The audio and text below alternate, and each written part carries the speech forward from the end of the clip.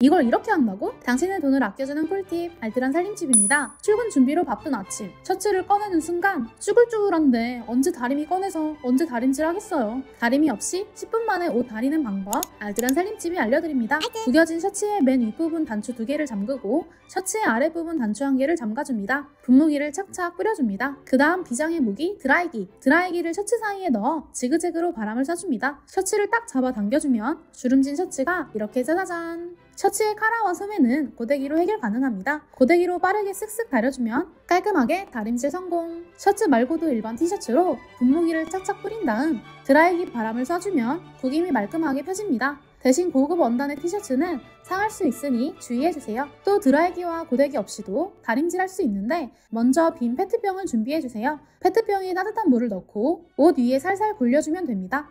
따뜻한 물이 담긴 페트병이 다리미 역할을 대신하는 것입니다. 여행 갔을 때도 옷이 구겨졌다면 이렇게 따라해보세요. 댓글 이벤트 진행 중 고정 댓글 참고하세요.